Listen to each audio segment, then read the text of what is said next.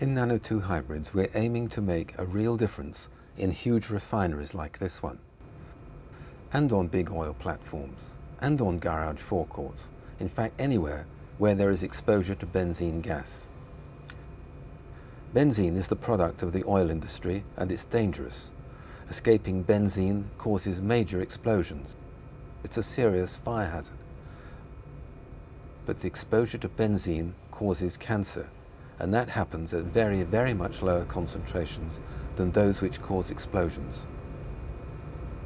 Over the past decades, the safety limit has been reduced and reduced.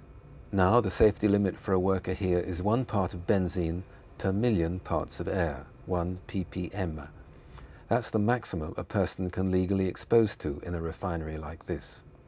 In the near future, that safety limit is going to come down substantially, down to parts per billion, ppb. The problem for providing safety for the workers is how to detect such low levels of benzene. Now we are going to show different detectors that uh, we have on plant, uh, depending on the detection level. En principio, detección de benceno. This is for detect benzene. y aromáticos. Anaromatic compounds. En uh, el orden de, de ppbs. On the level of the ppbs. Este es otro modelo. Now this is another model that this is uh, selective for benzene. Porque dispone de, unas, de unos filtros, de unas cápsulas que uh, se colorean It contains a colorimetric uh, chip or cassette that, uh, on the presence of benzene, change on his color. Y este otro es un detector de tipo PID.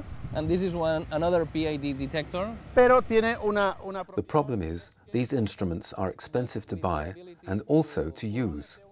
There's a filter that has to be replaced for every measurement. The cost means that there are few on site. I want to tell you something about history on gas detection. For example, uh, lots of years ago, on mining, uh, they use uh, different kind of uh, detectors, or what we call detectors. Like here, you can see the, the canaries. And the signal for the presence of poison gas was that the canary fell off its perch. Uh, Japanese mouse, which is a mouse that detects the absence of oxygen. He slowly his movements. Changes in the color of the flame of a miner's lamp showed poisonous gases were present. One of these guys, uh, his job is to look all the time the color change. These are the sensors used on the past for example, those three are uh, flammability detectors. These meters come from a time when the only requirement was to prevent explosions from benzene. They're not sensitive, and they didn't need to be. This is the best on the market today, and it measures down to 50 parts per billion. It's used in the refinery, but it's expensive, it's cumbersome, and it's complex. This is what uh, our new detector will looks like on size. And this is our secret weapon, which is the carbon nanotube sensor decorated with metals.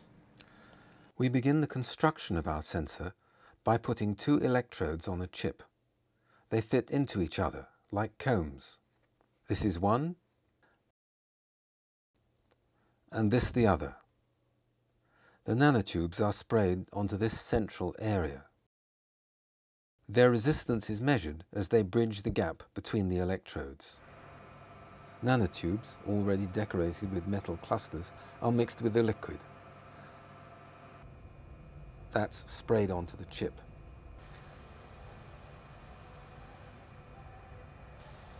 Then it's sent away to be mounted on a frame, and the fine wires connecting the chip to the pins are put on.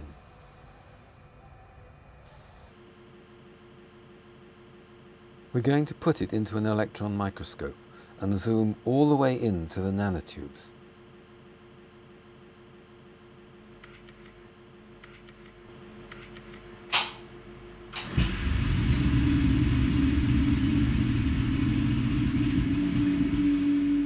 Start with an image of the chip, its pins and the connecting wires.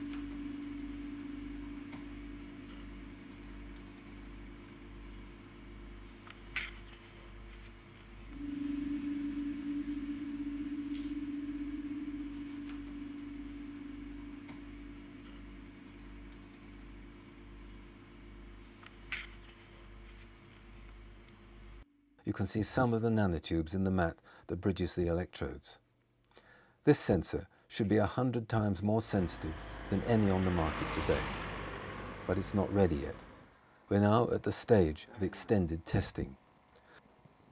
We put the sensor under a small white chamber and connect it up so it can experience very dilute benzene and other gases. There are some problems to overcome.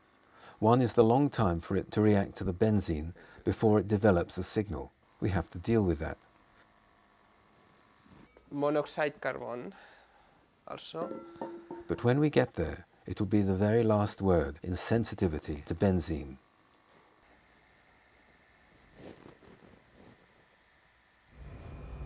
We think its first use will be in a refinery.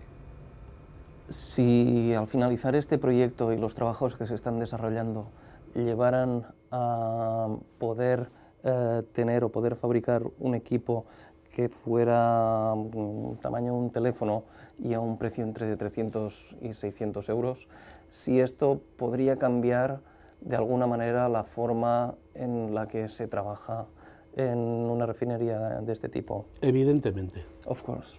Evidentemente.